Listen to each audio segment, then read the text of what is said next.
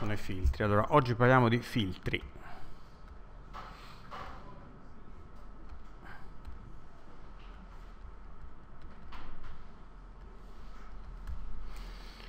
E che cosa sono? Eh, essenzialmente sono sistemi lineari a due porte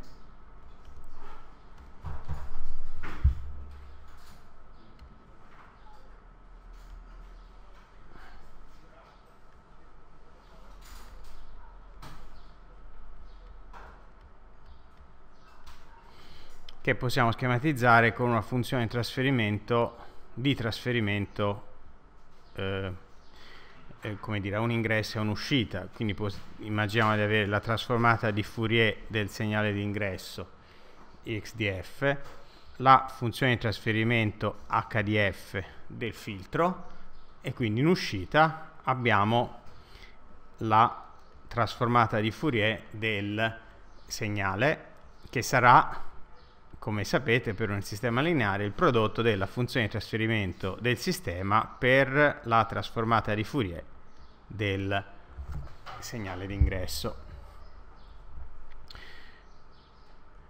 Quindi i filtri che cosa consentono di fare? Beh, scegliendo opportunamente la funzione di trasferimento del filtro possiamo eh, modificare lo spettro del segnale d'uscita.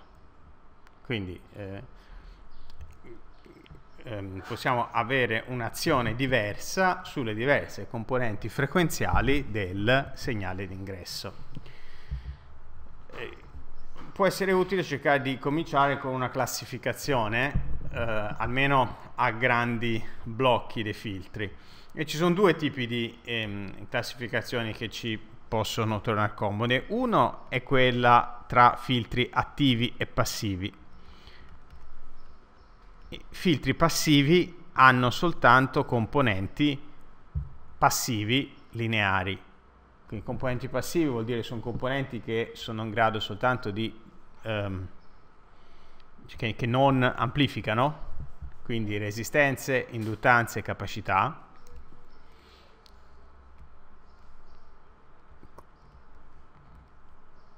Quindi elementi lineari che non amplificano e per esempio un filtro passivo è un filtro RC passabasso come questo. Voi sapete questa è una funzione di trasferimento con un polo determinato dalla costante di tempo RC, ha un ingresso e un'uscita, è un sistema lineare, quindi risponde alla definizione di filtro e anzi ha, sapete già qual è la funzione di trasferimento, beh, potete ricavarla, c'è un partitore di impedenze, viene una cosa di questo tipo, 1 diviso 1 più j omega rc.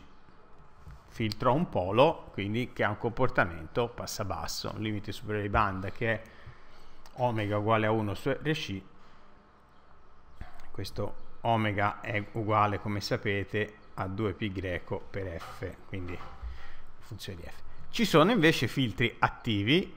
I filtri attivi usano degli elementi in grado di amplificare il segnale. Quindi possono usare dei transistor o degli amplificatori. E noi ci concentriamo soprattutto sugli, su questi. Quando eh, in elettronica chiaramente abbiamo finora visto come possiamo utilizzare i transistori come amplificatori, conosciamo l'uso degli amplificatori operazionali, quindi siamo in grado a questo punto di progettare dei filtri attivi. Quindi noi ci concentriamo que su questi. Usano transistori e amplificatori.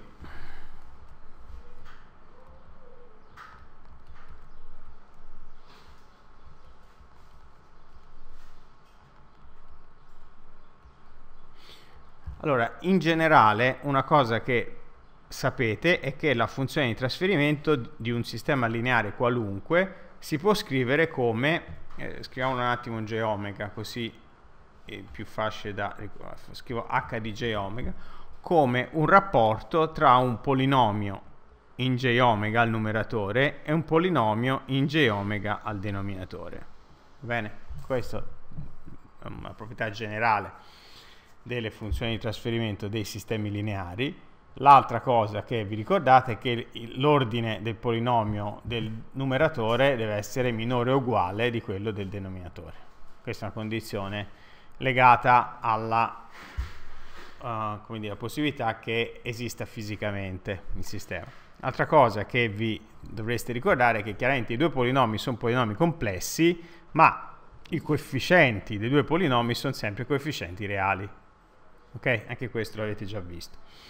Quindi eh, abbiamo visto la prima classificazione, c'è una classificazione più eh, utile per certi versi che risponde al tipo di uso dei filtri, al tipo della funzione di trasferimento. Allora, eh, facciamo come spesso eh, qua una classificazione ideale. Va bene.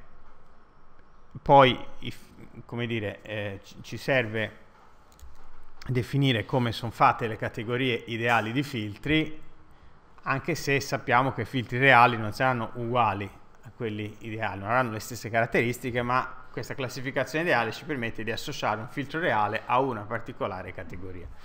Allora, abbiamo filtri di tipo passa-basso,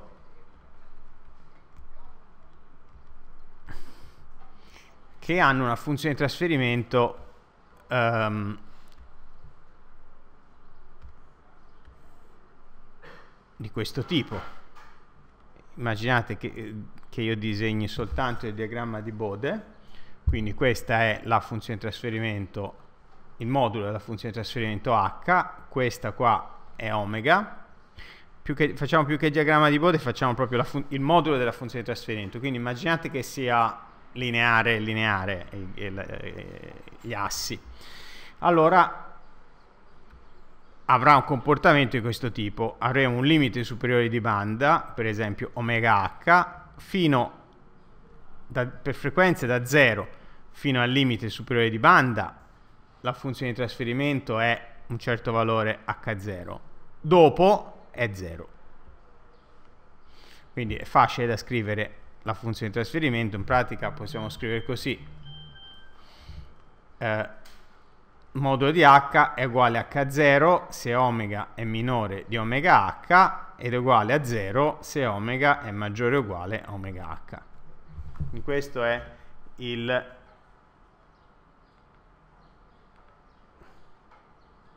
questo è la, la prima eh, diciamo, un'espressione che rappresenta quello che ho disegnato graficamente. Chiaramente possiamo avere la situazione opposta, cioè il filtro passa alto. Il filtro passa alto avrà una funzione di trasferimento, eh, come dire, speculare rispetto a questa, cioè sarà la funzione di trasferimento diversa da 0 solo da una certa frequenza in su. Per esempio questo è omega L, avremo che fino a omega L la frequenza è nulla e poi per frequenze maggiori ha un certo valore H0 per esempio. Chiamiamolo H infinito così si capisce che per frequenze fino all'infinito. Quindi in questo caso io com'è che scrivo la funzione di trasferimento? Modulo di H uguale a um, 0 se omega è minore o uguale a omega L oppure h infinito se omega è maggiore di omega L.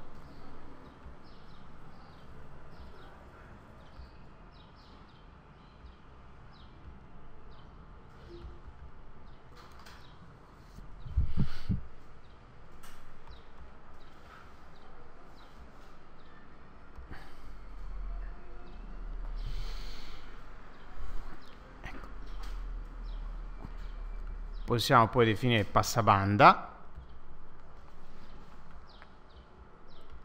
Passabanda è ancora simile.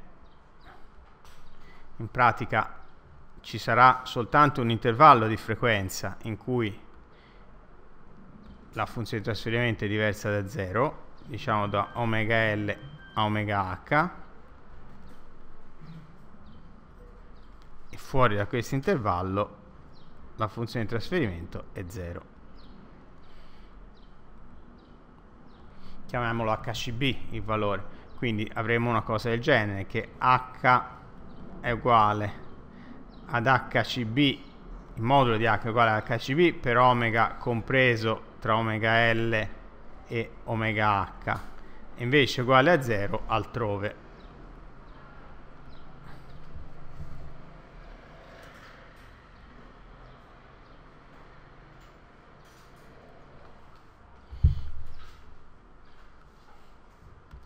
Quindi per concludere abbiamo gli elimina banda.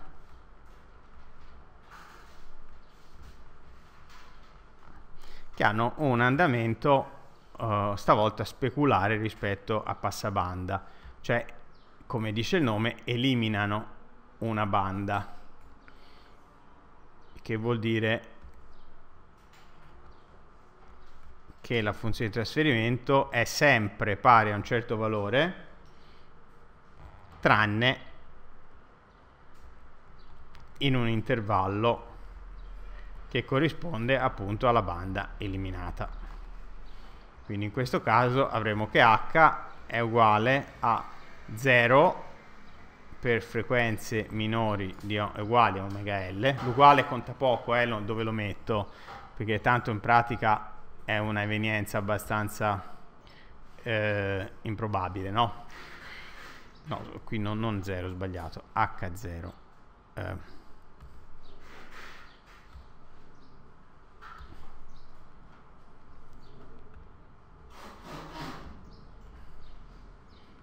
H0 per omega minore uguale a omega L, 0 invece per omega compreso tra omega L e omega H e H0 per omega maggiore uguale di omega H.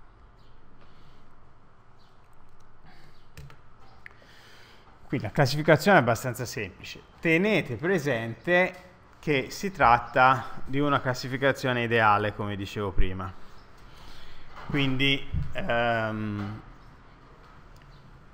diciamo, comoda per fissare dei riferimenti. Perché è solo ideale? Perché, come forse ricordate, ehm, un filtro causale cioè in cui la risposta per, per esempio all'impulso all'istante 0 comincia dopo l'istante 0, non può avere una transizione brusca tra uh, una regione in cui è, la funzione di trasferimento è nulla a una regione in cui è finita. Un fronte in salita così brusco non, può, non è in realtà possibile ottenerlo. Questo concetto l'avete visto? Okay. È eh, fisicamente impossibile ottenere una, una transizione discontinua da un valore finito a un valore zero in frequenza.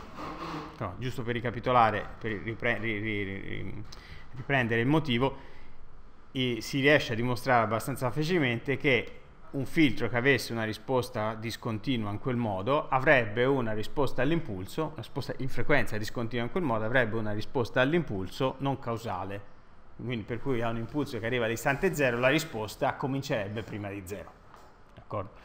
Per cui questo eh, a maggior ragione diventa un riferimento ideale, nella pratica non si può ottenere. Come sono fatte invece le funzioni di trasferimento dei filtri reali? Vediamo un paio di esempi in modo da capire. Sono un pochino più, ehm, come dire, morbide, ok? Vediamo per esempio un filtro passa basso reale come è fatto.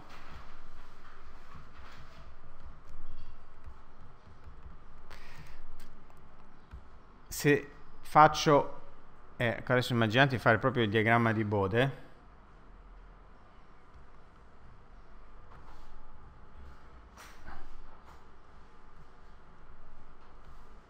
quindi questo è il modulo NDB e questo qui è il logaritmo di omega, va bene?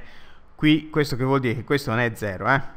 non è frequenza nulla questo incontro, perché la frequenza omega uguale a 0 corrisponde al logaritmo meno infinito, quindi siamo all'estremo dell'asse, quindi giusto così omega uguale a 0 è da quella parte. Mm. Allora, la funzione di trasferimento come è fatta? Invece di essere brusca come vorremmo, è fatta in questo modo. In pratica c'è una zona più o meno continua, poi tipicamente ci sono un po' di oscillazioni finché alla fine si va giù di nuovo e ci sono un altro po' di oscillazioni.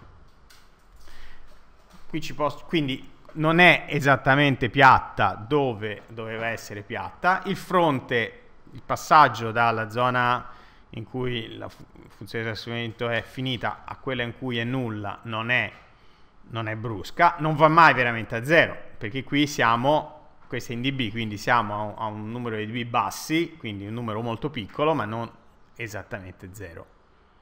Quindi questa è co come è fatta la funzione di trasferimento un di un filtro passabando, passabanda reale. Se fosse reale dovremmo avere una cosa piatta fino a un certo punto e poi da una frequenza in poi giù a meno infinito, perché a zero vuol dire meno infinito dB, d'accordo? Una cosa un pochino più um, dolce e eh, cosa è utile fare a questo punto? È utile fissare alcuni parametri che ci permettono di descrivere il comportamento della funzione di trasferimento. Chiaramente non ci interessa descrivere tutto il dettaglio di come si muove la funzione di trasferimento, ma alcuni, alcuni punti notevoli sì. Per esempio,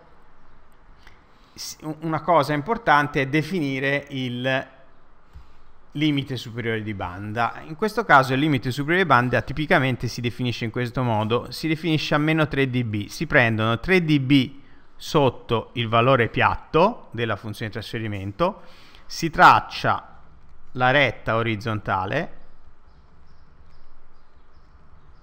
e si prende quindi questo punto, che è il punto che corrisponde a 3 dB meno del valore a frequenza nulla. La frequenza che corrisponde a questo punto si chiama limite superiore di banda a 3, a meno 3 dB. Quindi omega h è il limite superiore di banda a meno 3 dB, che vuol dire in pratica che h di j omega h in modulo in dB è uguale a H0 in dB meno 3. Questo è il significato. E questa è una cosa importante. Poi, che cos'è che si, che si mm, definisce anche? Qui si definisce questa cosa che in realtà è fastidiosa, che è la massima escursione nella banda passante. Questo. Questa distanza qua si chiama ripple in inglese, in italiano è ondulazione. Ed è una grandezza che si indica in dB, cioè la, la, massima variazione in dB su questo asse tra il valore massimo e il valore minimo del, de, dell'oscillazione nella banda passante. Chiaramente in generale più piccola è l'ondulazione più il filtro si avvicina a un filtro ideale.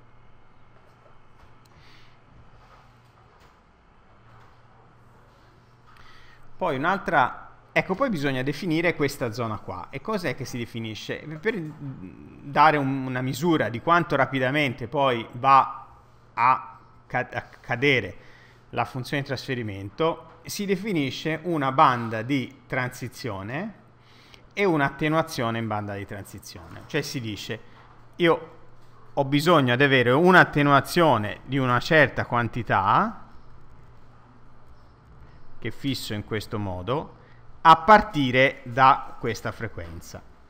Quindi si dice l'attenuazione che è questa, la distanza tra, chiamiamola A uguale attenuazione, la distanza tra il valore in cui considero praticamente 0 la funzione di trasferimento e il valore della funzione di trasferimento a frequenza nulla, questa distanza è una è, è in dB si ottiene, e poi dico che eh, questa frequenza, la frequenza cu a cui la funzione di trasferimento è attenuata almeno di A, si chiama ehm, eh, limite inferiore della banda soppressa, limite inferiore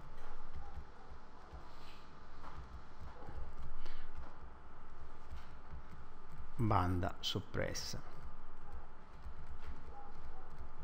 Quindi in pratica io cos'è che vado a definire? Vado a definire tre bande, una banda passante, che è questa e che arriva fino al limite superiore di banda, ok? Da 0 fino al limite superiore di banda è la banda passante. Da omega S in su ho la banda soppressa, cioè l'intervallo di frequenza che per me è equivalente all'intervallo di frequenza in cui la risposta del filtro è nulla, anche se non è veramente nulla, e la regione intermedia si chiama banda di transizione.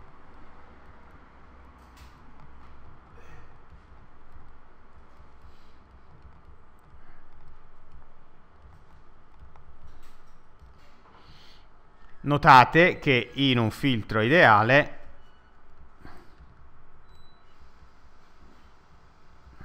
il ripple si indica con la lettera a volte, quindi in un filtro ideale il ripple è nullo, la banda soppressa è uguale al complemento della banda passante, quindi eh, omega h è uguale a omega s, no, no, la banda di transizione è nulla perché il fronte in discesa della funzione di trasferimento è ehm, eh, fronte in discesa è eh, diciamo a pendenza infinita e poi l'attenuazione è infinita. Quindi queste tre condizioni sono quelle che avremmo in un filtro ideale. Non sono realisticamente ottenibili. Eh, chiaramente però ci servono come riferimento perché più un filtro reale si avvicina a quelle quantità, quindi più è basso il ripple, più è forte la, la attenuazione, più è piccola la banda di transizione, più il filtro è buono, come passa basso. E quindi ci permettono di definire un eh, parametro di confronto. D'accordo? Ecco, sono importanti queste quantità perché sono le specifiche che vengono date quando si chiede la progettazione di un filtro. Quando si chiede di progettare un filtro oppure si deve semplicemente acquistare o scegliere un filtro, questi sono parametri che si vogliono. Si vuole sapere la banda passante, il limite superiore della banda passante, il limite inferiore della banda soppressa, qual è l'attenuazione che serve e qual è il ripple che si vuole sopportare. Quindi queste quattro quantità diventano anche le specifiche del filtro. Okay? Non, non, si definisce il dettaglio della funzione di trasferimento quando si richiede un set di specifiche, ma si richiedono almeno questi quattro parametri. D'accordo? Un discorso analogo, non, non, la, la, non la faccio così lunga, ma chiaramente vale anche per le altre tipologie di filtro. Ora, tanto per comodità, vediamo soltanto un filtro passabanda reale per far vedere che in pratica ci sono le stesse quantità da definire. In pratica anche in un filtro passa banda reale noi abbiamo una funzione di trasferimento che ha una forma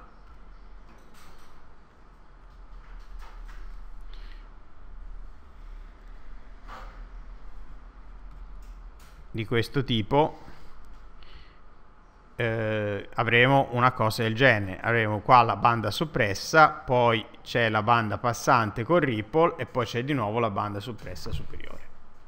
L'andamento è questo e di nuovo quindi dobbiamo andare a definire quelle quantità che sono di più di prima. Abbiamo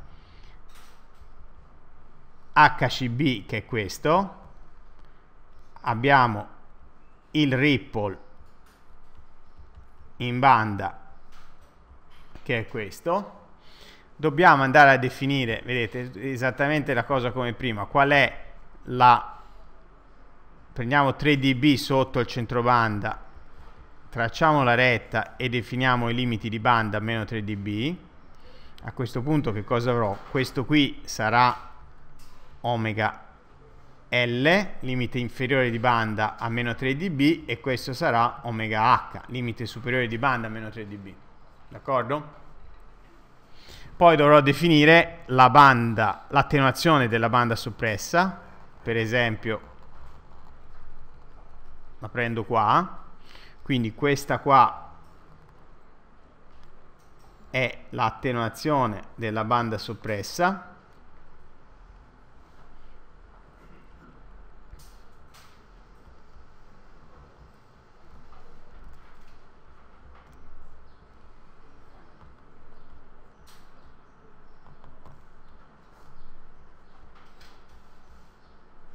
e poi avrò quindi le frequenze. Questo sarà il limite superiore di banda della banda soppressa e questo qua sarà il limite inferiore di banda della banda soppressa. Quindi facciamo fumetto, questo è il limite superiore della banda soppressa e questo qui sarà il limite inferiore della banda soppressa. superiore. Questo qui sarà il limite inferiore a meno 3 dB della banda passante e quest'altro sarà il limite superiore a meno 3 dB della banda passante. Chiaro? E quindi abbiamo stavolta 5 bande diverse, c'è la banda passante, la banda di transizione inferiore e la banda di transizione superiore e poi la banda soppressa inferiore e la banda soppressa superiore. D'accordo? Eh, non so scrivere sul disegno, è chiaro quali sono.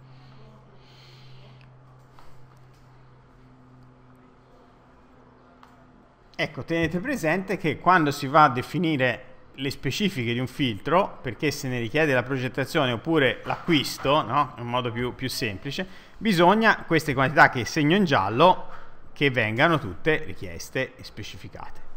Tipicamente queste quattro frequenze mi vengono richieste, mi viene richiesto l'amplificazione a centrovanda, l'attenuazione della banda soppressa e il massimo ripple che si può sopportare.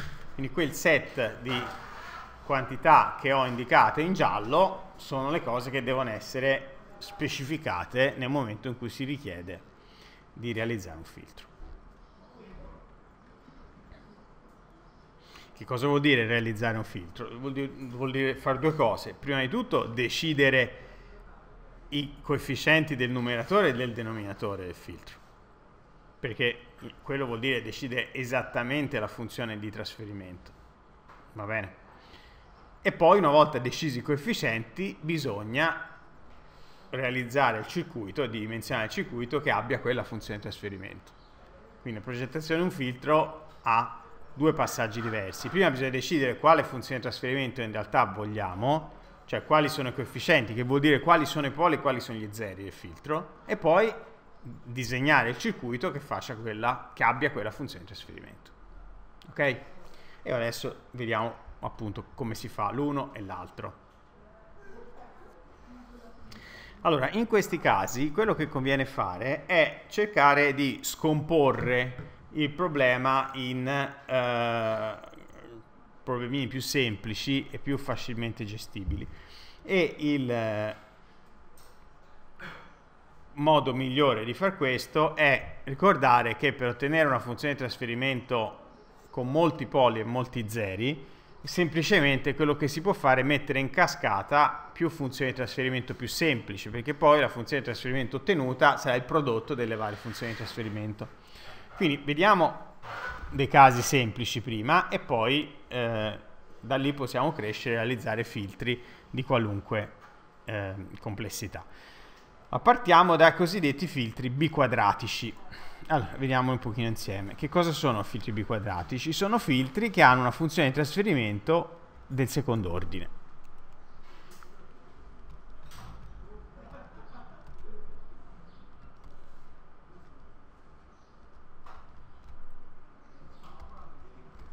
Filtri biquadratici si chiamano anche biquad in inglese sono filtri che hanno funzione di trasferimento genericamente del secondo ordine, quindi hanno un numeratore del secondo ordine e un denominatore del secondo ordine. Ma come sapete i filtri sono sistemi lineari, quindi i coefficienti sono tutti coefficienti eh, reali. Quindi in generale possiamo scriverli così, come funzione di trasferimento. Chiaramente qui è ridondante, ci sono 5 coefficienti indipendenti, no? perché poi si può sempre comunque semplificare, quindi sono solo 5 coefficienti indipendenti e poi a un certo punto ehm, una cosa più pratica è scrivere il, la, stesso, uh, la stessa funzione di trasferimento in questo modo che viene particolarmente comoda ehm, per noi, cioè scriverla così s su omega p al quadrato più s su qp omega p più 1 e questo è s su omega z al quadrato più s su qp omega z più 1 tutto per h0 è semplicemente un modo diverso di scrivere la cosa non, ho più sbagliato non qp a, numeratore qz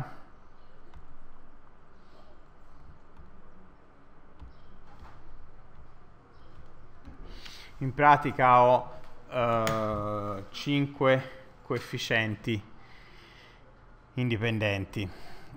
Omega z, qz, omega p, qp e h0 h0 che cos'è? È il valore di h di s quando s è uguale a 0 come si vede bene dall'espressione che cosa rappresenta quegli altri coefficienti? È un modo, dire, è un modo che mi permette di legare direttamente i coefficienti del filtro al, alla mh, posizione di poli e zeri del sistema.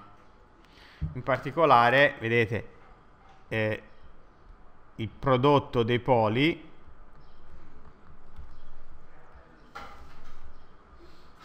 è omega p quadro per definizione, vedete, perché i poli sono le radici del denominatore, se vedete scritto in questo modo le radici del denominatore sono omega p quadro. Per cui eh, perché è utile scriverlo così? Perché se le radici sono complesse coniugate e quindi sono uguali in modulo, vuol dire che ogni polo ha modulo omega p. Quindi omega p in quel caso lì rappresenta il modulo del polo, se i poli sono complessi coniugati.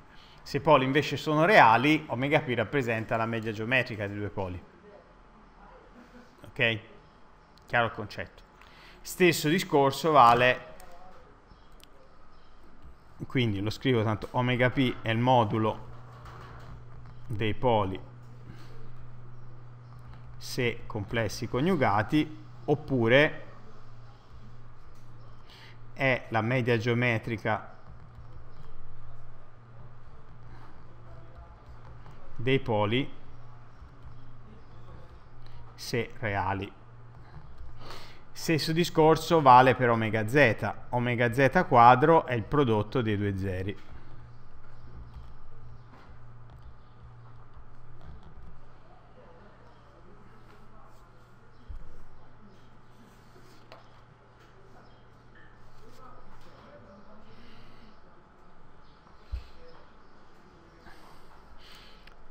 E che cos'è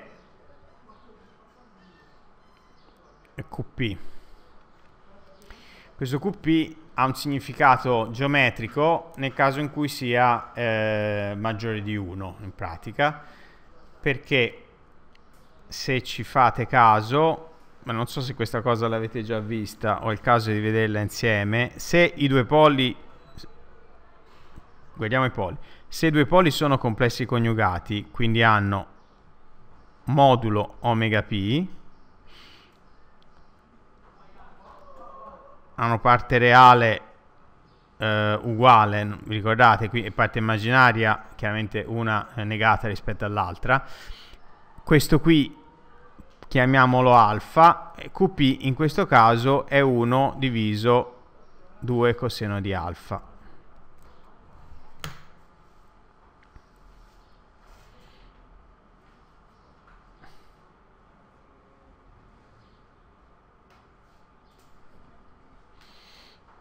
Si riesce a dimostrare abbastanza bene, potete farlo anche un po' per conto vostro, no? Nel senso, provate a scrivere il eh, polinomio che ha le due radici indicate là, complesse coniugate, e vi, vi viene questa relazione qua.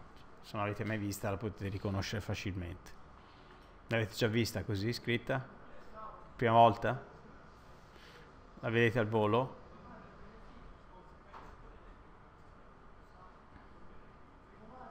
Vabbè vi faccio vedere io un attimo allora.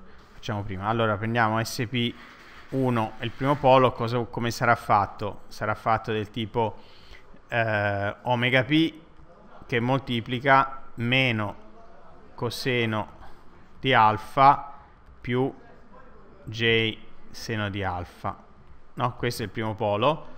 L'altro polo sp2 sarà del tipo omega p che moltiplica meno coseno di alfa meno j seno di alfa. Dubbi su questa cosa? Non penso, no? Questo è ovvio. Allora, a questo punto il denominatore scritto così, cioè col termine noto uguale a 1, vuol dire che lo scriviamo in questo modo, s su sp1 meno 1 che moltiplica s su sp2 meno 1. Va bene?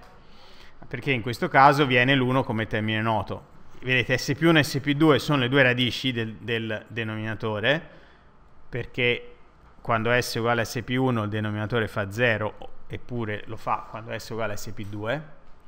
Allora, se svolgiamo, qui mi viene s quadro diviso SP1 SP2 meno s che moltiplica 1 su SP1 più 1 su SP2 più 1.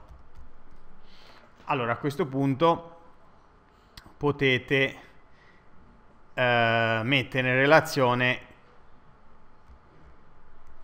le cose che vi ho detto. Allora per esempio vedete il denominatore del termine eh, di secondo grado è S più 1 S più 2 e di là è omega p, quindi omega p quadro è uguale a SP1 per SP2, che è la cosa che vi dicevo prima, no? Il prodotto dei poli, omega p quadro. Mi torna? Torna. Il termine di secondo grado, invece, è questo qua, uh, lo, ve lo faccio vedere eh, abbastanza chiaramente. Dunque, qui com'è che si vede? Se, qui, qui ho, ho fatto il caso di poli complessi coniugati, se sostituisco cosa mi viene questo te? Sostituisco questa roba qua. Eh, dunque, cosa mi viene?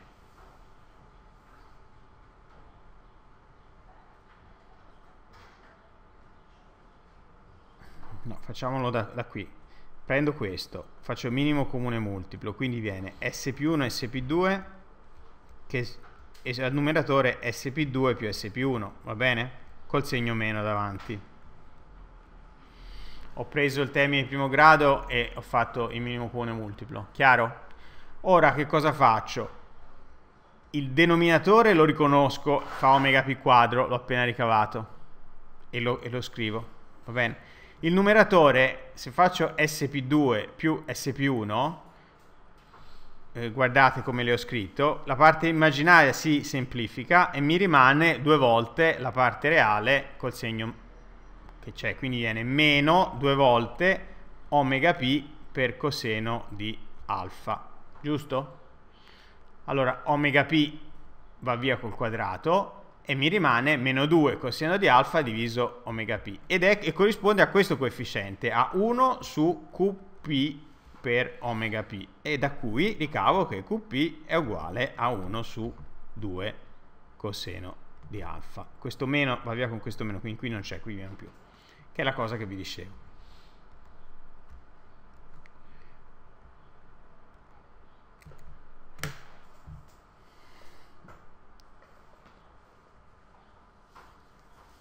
D'accordo, mi fa comodo scriverlo in quel modo perché ehm, in questo modo lego direttamente la posizione geometrica dei poli sul piano complesso ai coefficienti. Cioè modulo è QP che un, mi dà l'angolo rispetto all'asse reale. Questo termine QP si chiama anche fattore di qualità.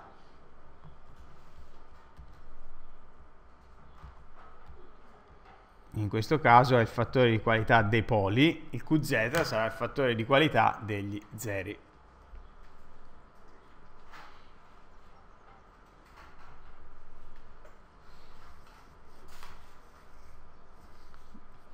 D'accordo? Allora, quindi abbiamo introdotto i filtri biquadratici. Cosa c'è da dire? Che in particolare con i filtri biquadratici si possono ottenere tutte le eh, funzioni di trasferimento che abbiamo visto prima. Cioè possiamo ottenere sia un passa alto, sia un passa banda, un elimina banda e un eh, passa basso.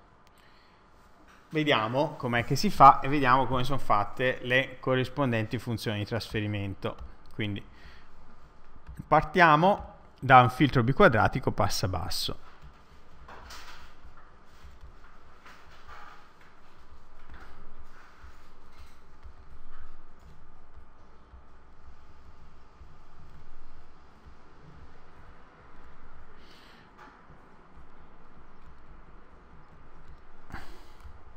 Dunque, cosa, uh, come è fatto un filtro biquadratico passa basso? Beh, in realtà ha due poli e non ha nessuno zero. Quindi se vogliamo che non abbia nessuno zero, deve essere che il numeratore della funzione di trasferimento eh, è soltanto un numero puro, cioè sia B1 sia B2 devono essere nulli. Allora, a quel punto la funzione di trasferimento diventa h uguale a h0 numeratore e basta, diviso a 2 s al quadrato, beh, anzi scriviamolo a questo punto in termini di omega p s su omega p al quadrato più s su omega p eh, qp più 1 quindi questa è la funzione di trasferimento. Sul piano complesso, quindi, ho soltanto i due poli che hanno modulo omega p, quindi cosa vuol dire? Stanno sul cerchio di raggio omega p, giusto? È importante per me che riconosciate per ogni funzione di trasferimento dove stanno i poli agli zeri, quindi io qui devo disegnare un cerchio di raggio omega p i due poli che si rappresentano con una crocetta stanno qua sul cerchio, quindi hanno modulo omega p e fanno con l'asse delle ascisse un angolo alfa che è legato a QP dalla relazione che abbiamo visto prima, cioè quel QP è 1 su 2 coseno di alfa. Quindi più QP è alto, quindi più il fattore di qualità del filtro è alto, più vuol dire che il coseno di alfa è basso, che vuol dire che i poli si avvicinano all'asse immaginario. Quindi fattore qualità alto vuol dire poli vicino all'asse immaginario.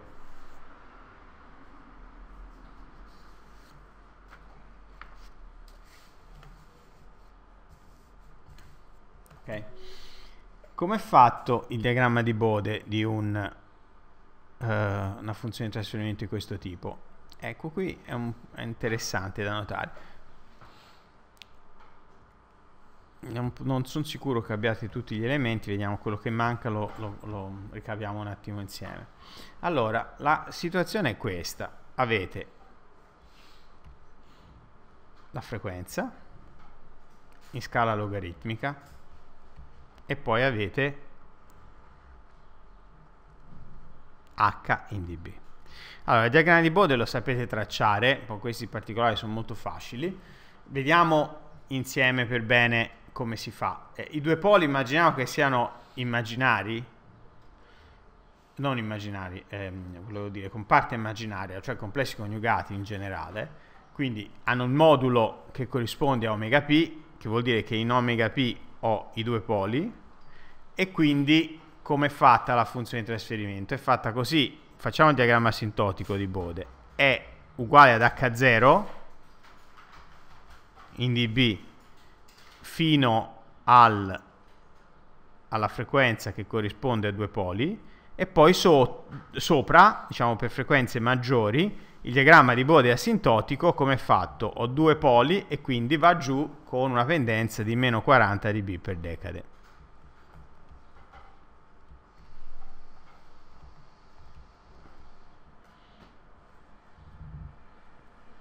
Va bene? Notate una cosa che non so se questa cosa l'avete, questa credo l'abbiate notata in qualche, eh, cioè in qualche corso precedente, che nella realtà il, la funzione di trasferimento fa una cosa di questo tipo qui. Può avere un picchetto e poi riscendere. Oppure, a seconda della situazione, può, fare, può andare verso il basso. Com'è che si fa a vedere? Beh, guardate che H in corrispondenza di omega p, cioè quando G omega è uguale a omega p, guardate che cosa succede. Se scrivo H di J omega p, il, il denominatore eh, è l'unica cosa che può cambiare. Il termine di secondo grado fa meno 1, quindi si semplifica con 1, S uguale a J omega p e quindi l'omega p si semplifica con l'omega p del denominatore, e quindi h di j omega p viene semplicemente h0 per j per qp. Quindi il modulo di h di j omega p in dB okay, è uguale ad h0 in dB più qp in dB. Ricordate, decibel vuol dire fare 20 volte il logaritmo in base 10, quindi eh, ho il prodotto di H0 e QP, il, in decibel il prodotto è uguale a decibel del primo più decibel del secondo termine. Quindi che cosa vuol dire? Vuol dire che di, questo qui è, è H di J omega P in dB. Quindi l'aumento che si ottiene rispetto al punto è uguale esattamente a Q in dB. Quindi se non voglio il picco, non voglio il picco, devo avere Q compreso tra 1 e un mezzo. Perché Q maggiore di un mezzo serve per avere poli complessi coniugati, Q minore di 1 mi serve perché se Q è minore di 1, Q in dB è minore di 0 e quindi non ho il picchetto.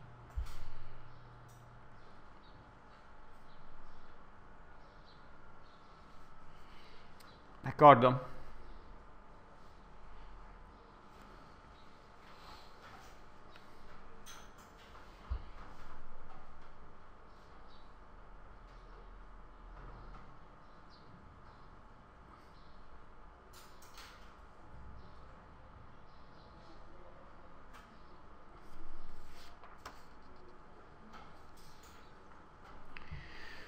Ok,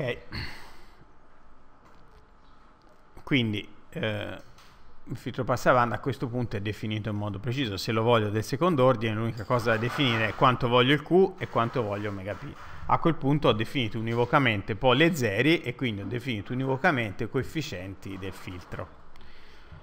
Va bene, vediamo gli altri biquadratici che si possono ottenere. Vediamo per esempio il filtro biquadratico passa alto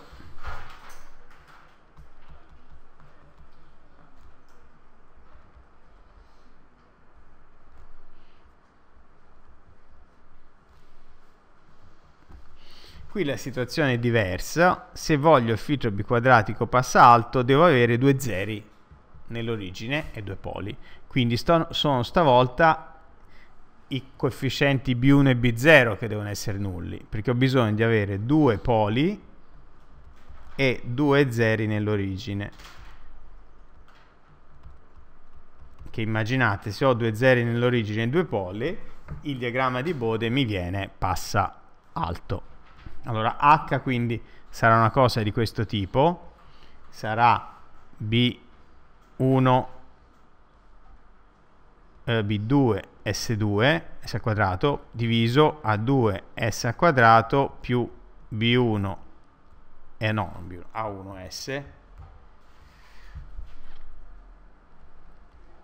più A0 utilizzando omega p e qp avrò a denominatore ovviamente s su omega p al quadrato più s su qp omega p più 1 e a numeratore e termine di secondo grado mi può convenire scriverlo in questo modo, guardate, mi può convenire scriverlo come s su omega p al quadrato per h infinito. Quindi questo termine b2 scriverlo in funzione di h infinito, perché cos'è questo h infinito? Cosa rappresenta? Beh, se vedete è il limite di h quando s tende a infinito, perché per s grande conta soltanto il termine secondo grado a numeratore a denominatore, quindi il rapporto quella frazione fa 1 e rimane soltanto h infinito. Quindi questa è l'espressione. Come sono fatti, quali sono le posizioni di poli e zeri sul diagramma di Bode e come è fatto il diagramma di Bode? Beh, chiaramente posizione poli e zeri sul piano complesso, eh, io so che i due zeri che si indicano col pallino stanno nell'origine e poi qua faccio il cerchio di raggio omega p e di nuovo i due poli hanno modulo omega p e angolo alfa dove alfa è legato al fattore qualità dei due poli. Quindi ho due poli e due zeri messi in quella posizione. Se vado a fare il diagramma di uh, Bode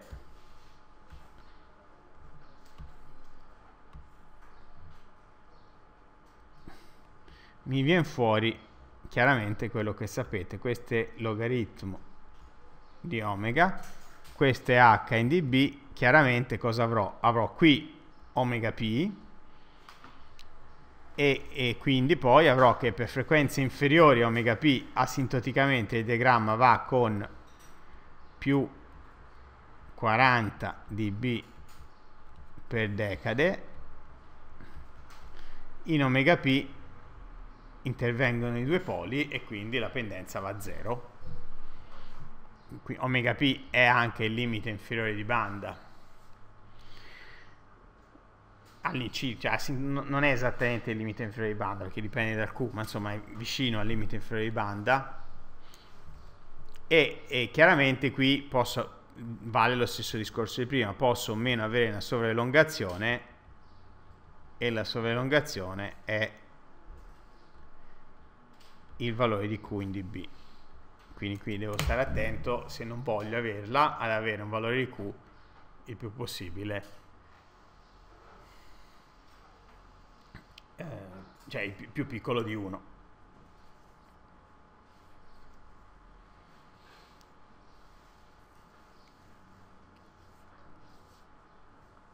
Vedete, il fronte che, che ho nella corrispondenza dei limiti di banda, se filtro è biquadratico è al più 40 dB, se riesco a sfruttare tutti e due i poli. Chiaramente se ho bisogno di avere delle transizioni più brusche, bisognerà ricorrere a funzioni di trasferimento con più poli. Cioè non, si può andare su parecchio, eh? cioè non, non, non è per niente strano trovare eh, situazioni con funzioni di trasferimento con che so, 12 poli. Ecco, se, se, di avere un filtro eh, prestazioni particolari, posso aumentare il numero di poli eh, più o meno a piacimento.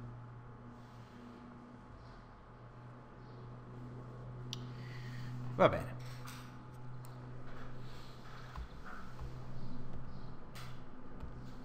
Si possono ottenere anche filtri biquadratici passabanda.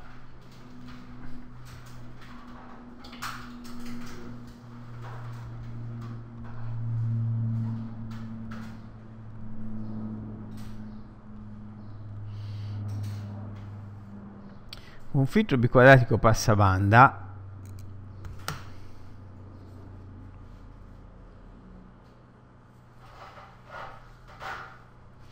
qui richiede un attimo di commento perché in prima battuta uno può dire va bene io posso ottenere un filtro, un filtro passabanda mettendo in cascata un passa alto e un passa basso ok? Questo è ovvio. Non è pratico in tanti casi.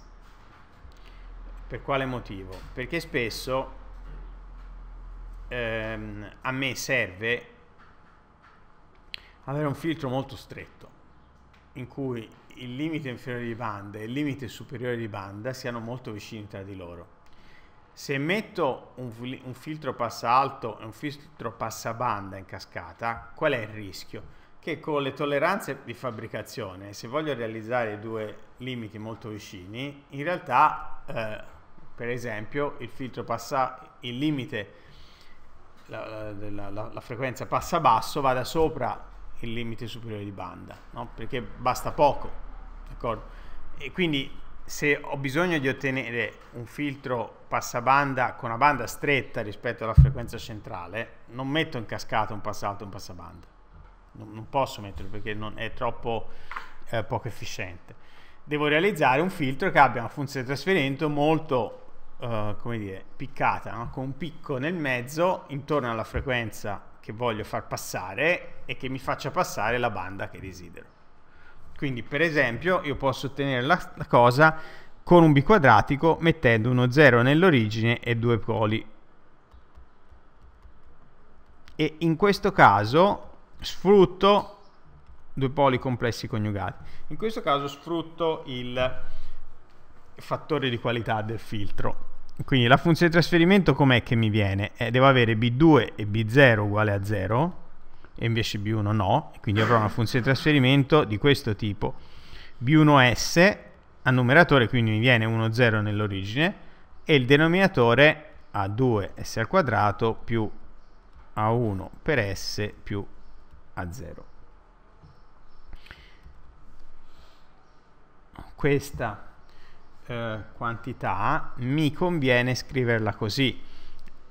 S su omega p al quadrato più s su qp omega p più 1 a numeratore e a denominatore mi conviene far così, vedete mi conviene scrivere qua s diviso qp omega p e poi h centrobanda scritto di lato perché quando s è uguale a j omega p il numeratore e il denominatore si semplificano in questo caso e quindi quella frazione fa 1 e rimane che il valore di h è uguale al valore di h a centrobanda.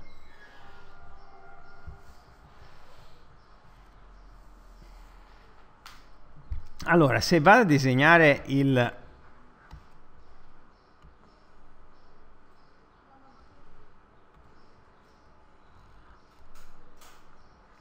piano complesso, per vedere la posizione dei poli dove stanno? Eh, ve lo potete immaginare abbiamo già visto non sto dicendo niente di nuovo in pratica devo fare di nuovo il cerchio di raggio omega p i due poli sono qua con un angolo alfa in cui 1 diviso 2 coseno di alfa è uguale a omega p per cui 1 diviso 2 coseno di alfa è uguale a omega p e poi avrò uno 0 nell'origine che rappresento in questo modo. Quindi questa è la situazione del piano complesso. Ecco, invece magari eh, dobbiamo spendere due parole in più sul diagramma di Bode, perché il diagramma di Bode come è fatto? Eh, dunque, è fatto in questo modo. Qui ho omega, scala logaritmica, qui ho h, questo qui è omega p. Allora, il diagramma asintotico è fatto così. Parto con 20 dB per decade, va bene? Qui intervengono i due poli e quindi dopo i due poli avrò meno 20 dB per decade. La pendenza è la stessa di quella che ho a salire. Vabbè, insomma, fatta a mano, punteggiata, a quindi questi sono più 20 dB per decade e qui avrò meno 20 dB per decade. D'accordo? Allora, poi però qui c'è una cosa importante. Qui avrò un picco che rispetto a questo punto è H è uguale a Q in decibel, Q in dB. Quindi l'andamento mi viene eh, dunque, prendiamo questo, in questo modo. Questo è quello asintotico, quello invece reale è fatto così. Avrò una cosa del genere, qui sale, qui scende,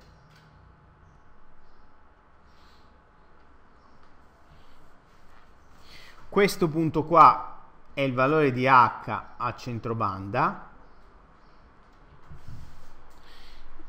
il, un picco che è tanto più alto quanto è, più al, quanto è alto il valore di Q in dB. Ecco, qualcosa che eh, merita un po' di discussione è questo. Si vede abbastanza facilmente che il limite, eh, che la banda passante, cioè se io prendo qua e traccio a meno 3 dB una retta, questa qua è la banda passante a meno 3 dB, chiamiamola B, va bene?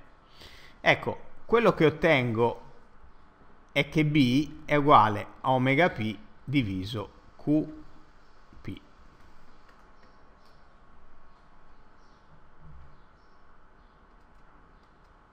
Quindi c'è la banda passante del filtro è uguale alla frequenza centrale, cioè alla frequenza dei poli, diviso il fattore di qualità. Tra l'altro questo è il motivo per cui il fattore di qualità si chiama così, perché più è alto QP, più piccola riesco a fare la banda passante, cioè più selettivo riesco a fare il filtro. L'uso dei filtri selettivi è fondamentale, specialmente nel, eh, dire, anche nelle comunicazioni radio, perché è con l'uso del filtro selettivo che sintonizza una stazione, per esempio radio, no? partendo dalla comunicazione più, più, più semplice, la telecomunicazione più semplice.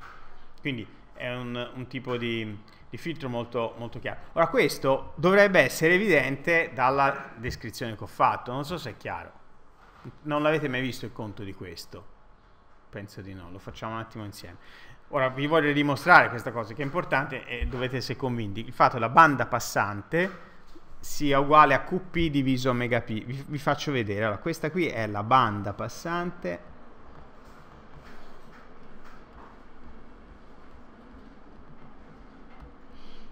a meno 3 dB.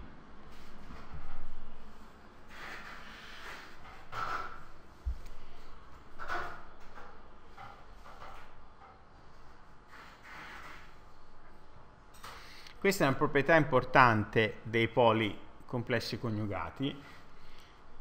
E vabbè insomma in qualche modo è importante farla vedere. Vediamola in questo caso particolare. Allora come lo facciamo a vedere?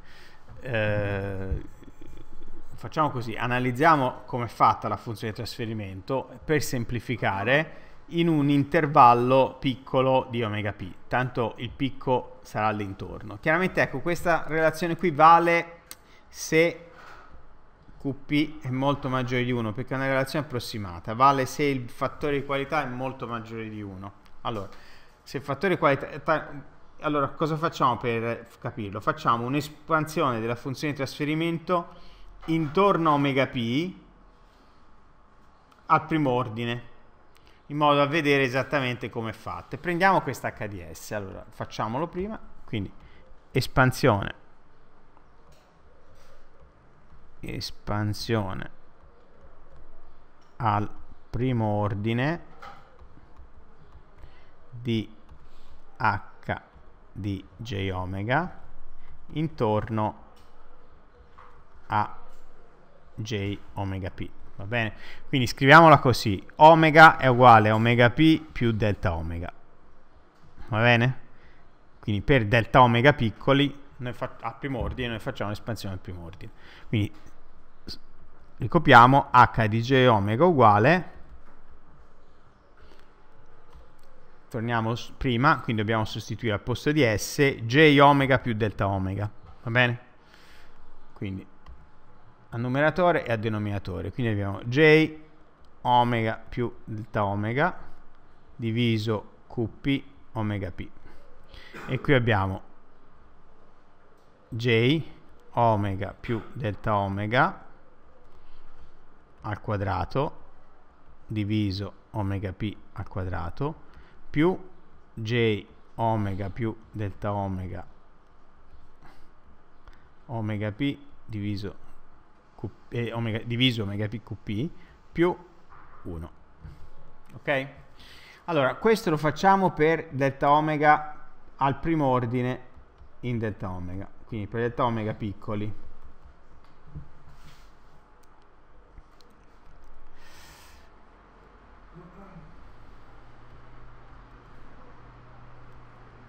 Allora, facciamo un altro passaggio e poi facciamo tutte le semplificazioni del caso. Quindi qui lo copiamo pari pari.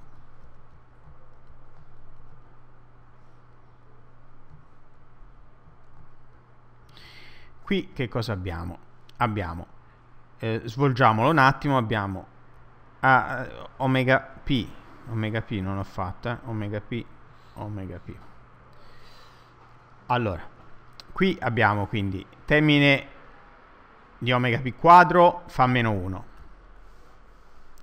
più termine delta omega quadro fa meno ok delta omega al quadrato diviso omega p poi al termine misto incrociato che fa più 2j omega p per delta omega diviso omega p al quadrato quindi questo omega p va via col quadrato di sotto questo è il termine, il primo, il termine quadratico del denominatore. Più, beh qui posso semplificare, j su qp è primo termine, che omega p si semplifica con questo omega p, più j delta omega diviso qp.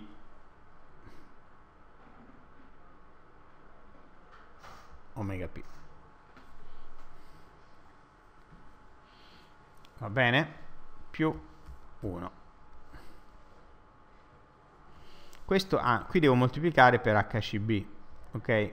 Quindi devo moltiplicare per HCB.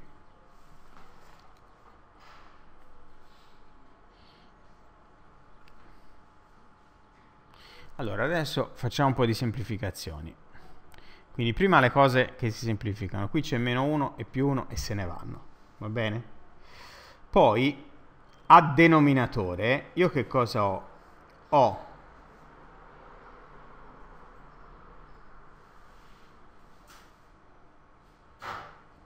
un termine reale che è questo qui.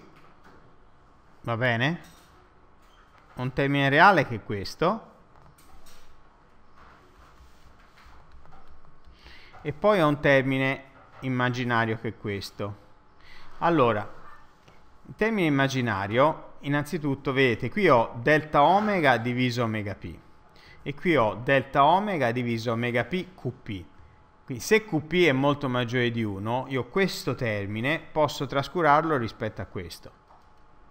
Va bene? Quindi io questo termine lo trascuro rispetto a questo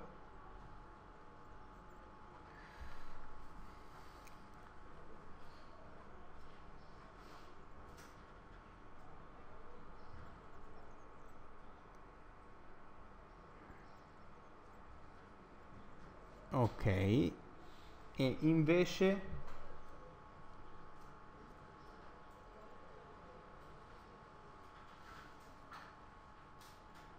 C'è un pezzo che mi, mi, ah no infatti ecco non mi tornava. Eh, scusate ho sbagliato una cosa io. Uh, qui non c'è J non, qui questo J va via. Quando faccio il prodotto ho J omega P. Quando faccio il prodotto questo J al quadrato mi diventa meno 1 quindi qui mi diventa, mi diventa un meno 2 invece di 2j ho sbagliato quando ho fatto quindi vediamo un po' prendo la gomma e cancello qua qua. Allora devo cancellare anche questo.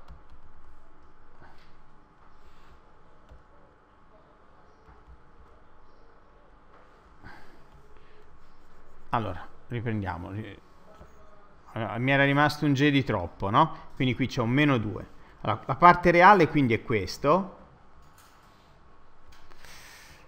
E nella parte reale, in pratica, eh, che cosa ho?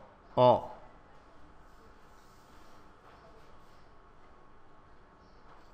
Eh, vedete, in pratica ho questo termine che è con delta omega al quadrato questo termine che con delta omega e basta, quindi al primo ordine io questo termine quadratico lo trascuro ris rispetto al termine lineare. Ok? Al primo ordine questo lo facciamo via. Quindi mi rimane soltanto que questa parte reale. Quindi rimane soltanto questo pezzo e poi eh, qui invece che cosa ho? Beh, qua ho omega p più delta omega, è chiaro che in questo caso il primo ordine è trascurabile rispetto all'ordine 0, quindi questo termine lo posso levare rispetto a omega p. Al denominatore li conservo i termini di, di, primo ordine perché i termini di ordine 0 si sono semplificati, no? si sono eliminati tra di loro al numeratore invece no, no, e quindi è inutile che lo conservi. Una volta che questo l'ho tolto, allora omega p e omega p si semplificano, mi rimane soltanto j su omega p. Allora, detto questo, riscriviamo la pulita. Mi viene h di j omega uguale a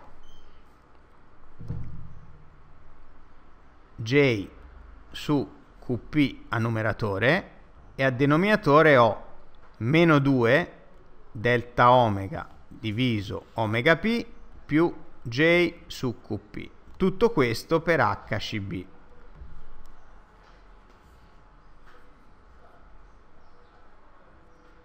Va bene?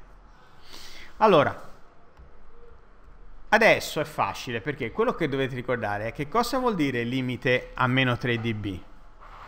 Limite a meno 3 dB vuol dire che h di omega L, per esempio, omega S in modulo, in dB, è uguale ad HCB, al valore nel punto massimo, meno 3, giusto?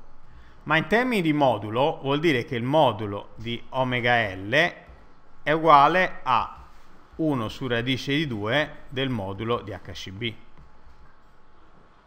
no? meno 3 dB vuol dire che il modulo non si riesce. Quindi, in corrispondenza del limite di banda, cosa dobbiamo avere? Che questo termine qui, la frazione, deve avere modulo 1 su radice di 2. Va bene? Vi torna? Vedete, guardate l'espressione che è scritta in basso a sinistra. In corrispondenza dei limiti di banda, quando al posto di omega qui mettiamo omega L, questa frazione qui deve avere modulo 1 su radice di 2. Bene, quindi cambio pagina. In corrispondenza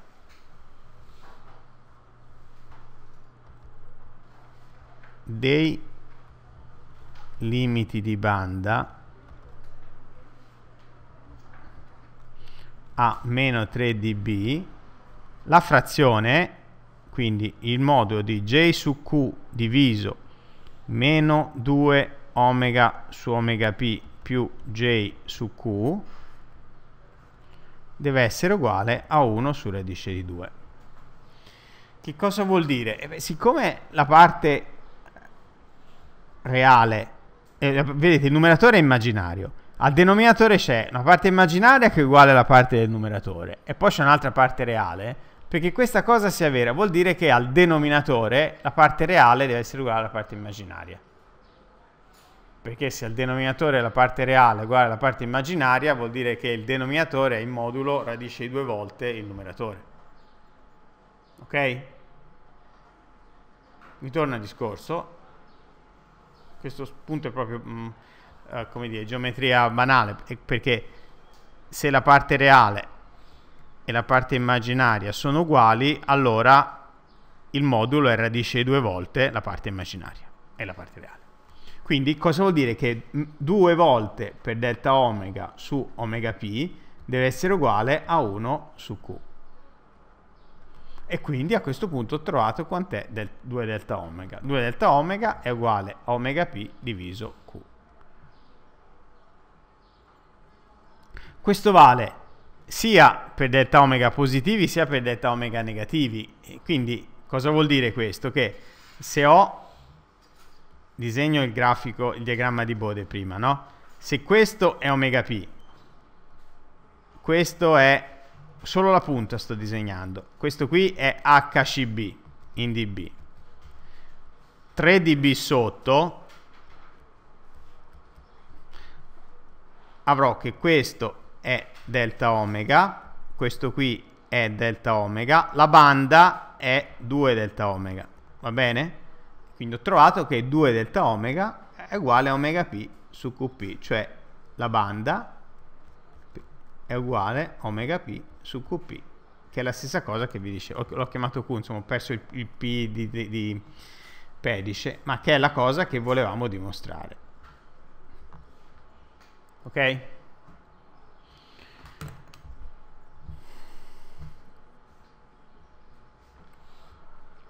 Quindi questo è un discorso che vale in generale.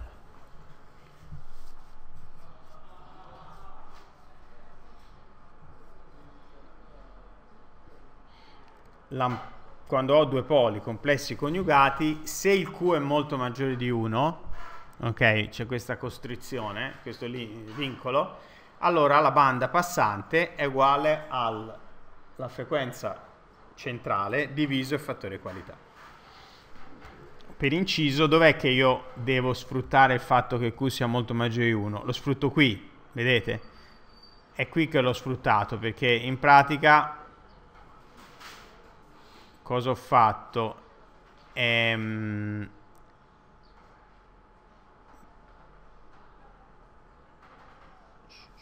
dunque c'è un punto in cui l'ho sfruttato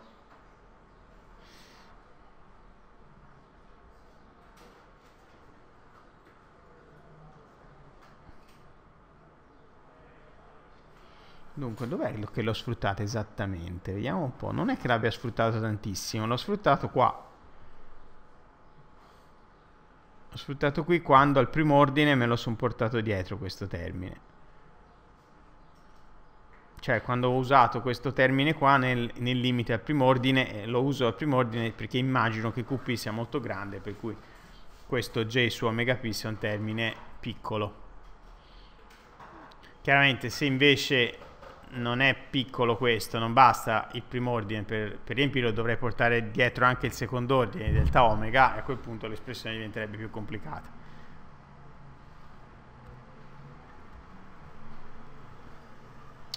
Va bene.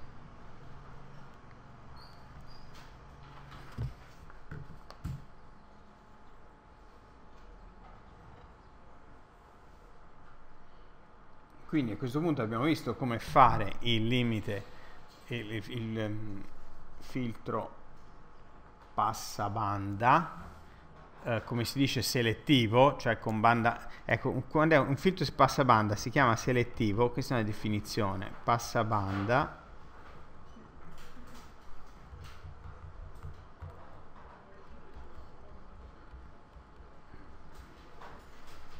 è selettivo se B è molto minore di omega P. Banda passante molto minore di omega P, a quel punto siamo obbligati a usare un filtro con Q elevato. Oh, per concludere possiamo avere anche un filtro elimina banda, e così concludiamo la, la rassegna, facciamo un attimo di pausa, un filtro elimina banda,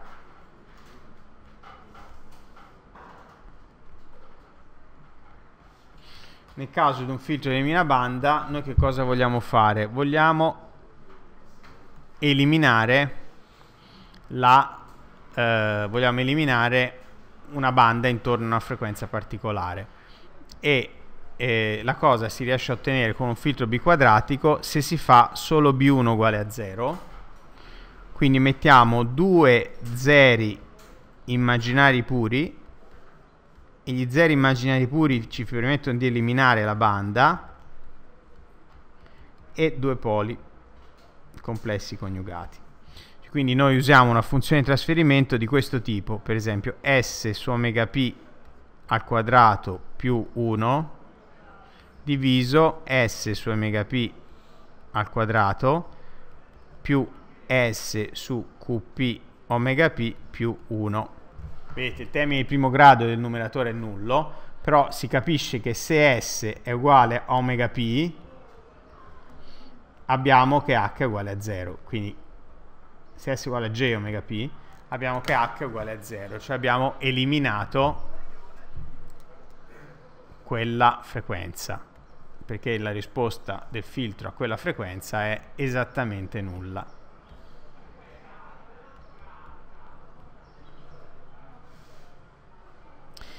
La cosa funziona se poli e zeri hanno lo stesso modulo.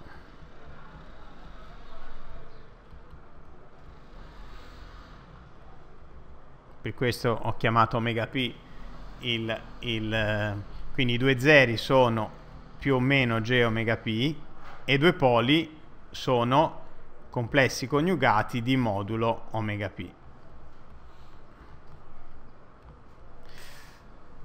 Ecco qua conviene anche moltiplicare qua per h0 in modo da evidenziare il fatto che la funzione di trasferimento, vedete, quando s è uguale a 0 fa h0, ma anche quando s è infinito fa h0. Quindi in pratica la funzione di trasferimento ha questa cosa, per s uguale a omega p fa esattamente 0,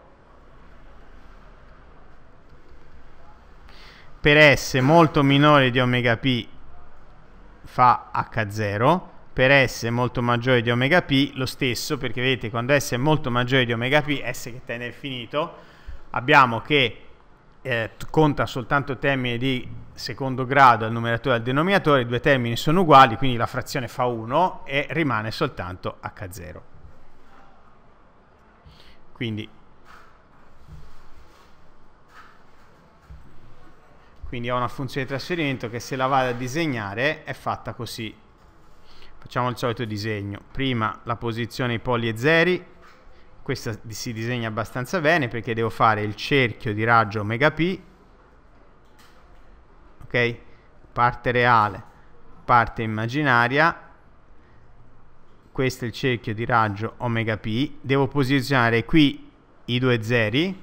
Adesso cerchio non è venuto proprio preciso, ma insomma questi sono i due, eh, scusate, questi sono i due poli complessi coniugati, con angolo alfa che è legato da a omega p dalla relazione che conosciamo e poi ho due zeri che sono tutti e due immaginari puri.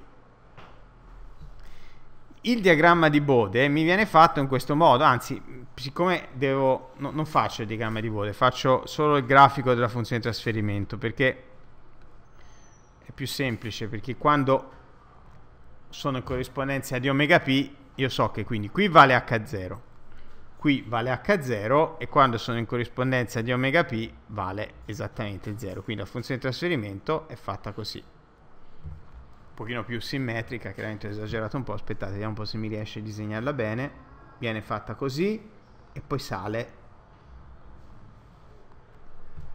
che è esattamente 0 in corrispondenza di, dei, dei due zeri immaginari puri. Anche in questo caso io potrei andare a disegnare una curva a meno 3 dB, che adesso qua mi viene, se prendo H0 diviso radice di 2, mm, perché sono su scala lineare, quindi questa è la, la curva a meno 3 dB, e posso ottenere questa qui, che è la banda eliminata. Banda eliminata che se provate a fare due conti esattamente uguali a quelli che abbiamo fatto per il passabanda, per cui non sto a verifarveli, vi viene fuori che è uguale alla frequenza degli zeri e dei poli diviso il fattore di qualità dei poli. Che questo è una cosa, vabbè, è esattamente il ragionamento che abbiamo fatto per il passabanda, si può rifare e vale anche per l'eliminabanda. Quindi magari è può essere interessante da fare come esercizio. Quindi questo è il tipo di filtro che si usa quando c'è bisogno di eliminare una frequenza. In che casi? In tanti casi è utile una cosa del genere. Per esempio se so che a quella frequenza c'è un disturbo, cioè, anche un sistema di comunicazione, si sa che a una frequenza a cui si riceve c'è un disturbo, spesso si introduce un filtro che taglia esattamente quella frequenza, il più stretto possibile, giusto per eliminare il disturbo. Chiaramente la cosa difficile è prenderlo no, farlo preciso in modo che elimini soltanto il disturbo quindi va fatto in generale in questi casi o preciso o quantomeno accordabile in modo che possa modificare la frequenza va bene facciamo una pausa